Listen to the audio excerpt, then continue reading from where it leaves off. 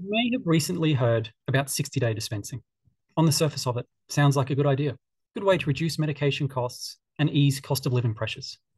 Unfortunately, the unintended consequences of this change will mean increased medication shortages, more hoarding of medications, increased risk of accidental poisonings and overdoses, more expensive healthcare, reduced hours, service, and access to your pharmacy, and an explosion of people going to hospital emergency departments for basic healthcare needs.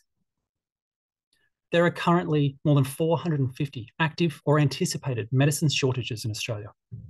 There are antibiotics, diabetes medications, medicines used to treat mental health conditions, and so many more.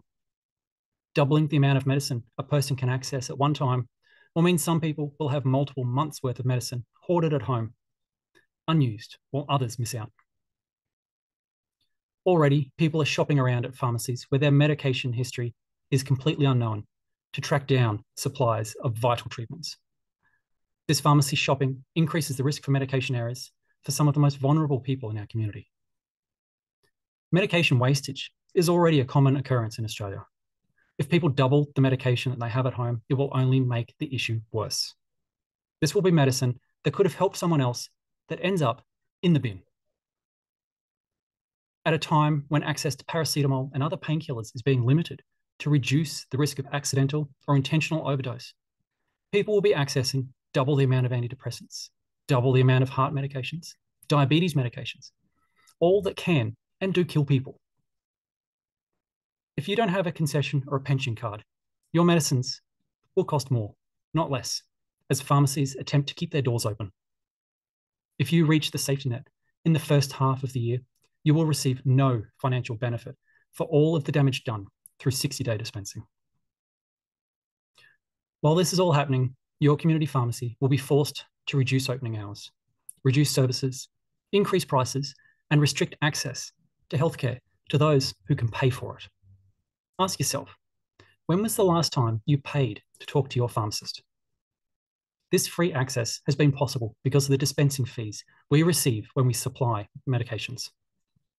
If these fees are halved by doubling the amount of medicine supplied, pharmacies will be forced to make very difficult decisions to continue to operate.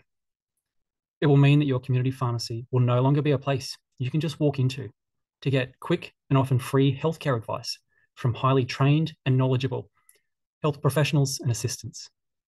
You won't be able to go to your GP because they're already booked out for weeks. So instead, you'll need to present to the emergency room for any form of immediate care.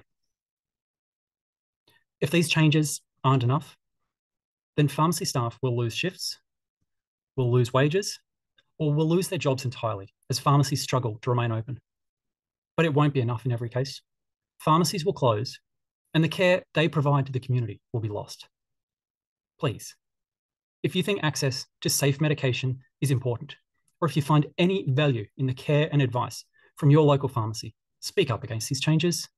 Talk to your federal member to make them understand the risks to the health of our country these changes could cause.